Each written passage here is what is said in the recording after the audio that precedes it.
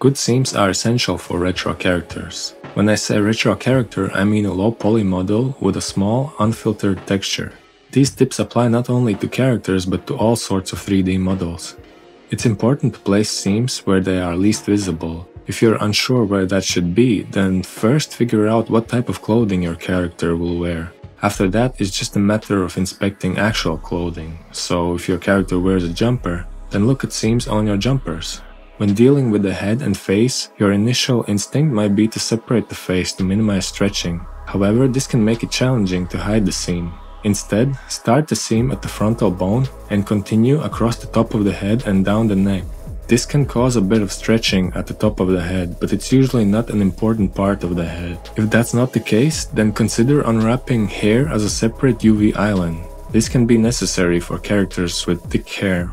It doesn't matter how well you place your seams, if they're crooked, they will be a lot more noticeable. Since retro characters use small textures, every texel is visible, and that makes it easier to spot seams, which can be quite distracting in some cases. Straightening edges will cause some stretching, which is fine, especially if you plan to use affine texture mapping in the engine. Sometimes straightening an edge causes excessive stretching. In that case, don't force it and leave it as is. You don't have to straighten every edge, just the seams. With straightened edges there's one final step, snapping the vertices to pixels. Skipping this step can lead to issues such as texels being split or misaligned UV islands. It's quite easy to do in Blender once you've figured out what the resolution of your texture will be. Be careful though when snapping vertices because it can cause some of the borders to become crooked again. Pay special attention to the face, any imperfections here will stand out prominently.